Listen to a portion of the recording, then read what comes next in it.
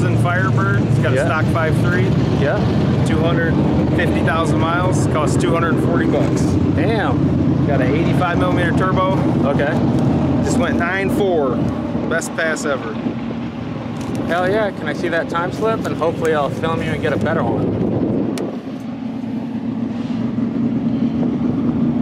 See, make sure I can see it there. I'm just gonna hold it for a second. Nice pass, man. Yeah, thanks. Is there uh, anything else significant about it? Like uh, the rear end, uh, any of that It's stuff? got an 8.8 out of a Ford Explorer that I narrowed and put in. Okay. It's got Powerglide. Just a stock 5.3, 85 millimeter. That's right. Just a cam. Gets it done, huh? That's right. Damn. If you uh, have a goal for the day, what would it be? I'd like to go a little faster. I'd like to get bottom nines. Bottom nines. All right. You think it's possible today? It should be. You got the weather, huh? That's right. Low DA. Got an oil leak I gotta look into though. All right.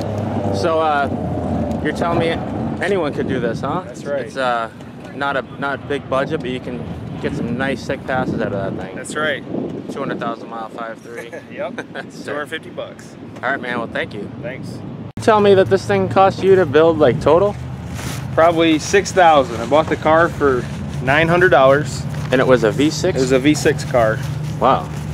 So I threw that Two of them here. Yeah. I'll have a video on that red one too. So I threw the V6 away and put a 250,000 mile 5.3 in it. All right. That's so sick. I would have never thought this was a V6 car. Guess that works though. Yep.